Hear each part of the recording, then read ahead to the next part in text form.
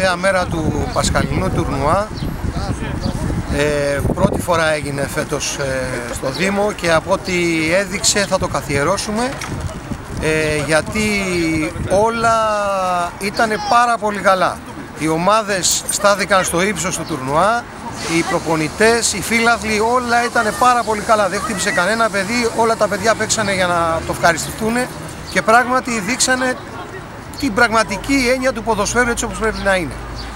Ε, ευχαριστώ πάρα πολύ όλους όσους συμμετείχαν, ε, τις ομάδες, τους ε, φιλάθλους, τους αθλητές ε, και όλο το, όλους τους ανθρώπους που συμμετείχαν και διοργάνωσαν αυτή την, ε, αυτό το τουρνουά.